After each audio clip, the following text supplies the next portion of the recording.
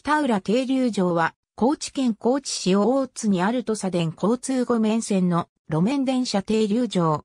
当停留場は1910年、五面線の加護停留場から大津停留場までの区間が開通したのに合わせて開業した。乗り場は2面あり、2本の線路を挟み込むように配置される。ただし互いの乗り場の位置は蓮向かいに離れていて、東に播磨や橋方面域の乗り場、西に五面町方面域の乗り場がある。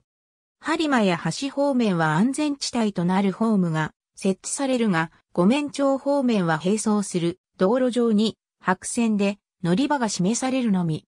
民家が軒を連ねる閑静な地区。五面線の軌道はすぐ北を流れる船入川に沿って伸びているが、土手が築かれているため車窓から川を見ることはできない。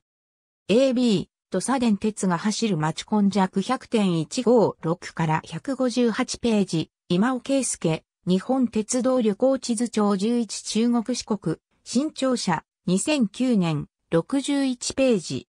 ISBN 978から4から10から79万29から6。上野博人。土佐電交通、再出発、便利な市民の足に、高知で設立式新デザインの車両披露。毎日新聞 AB 川島慶三、四国、九州ライン全線、全駅、全廃線。第2巻四国西部エリア、講談社、図説、日本の鉄道、2013年、34.91ページ。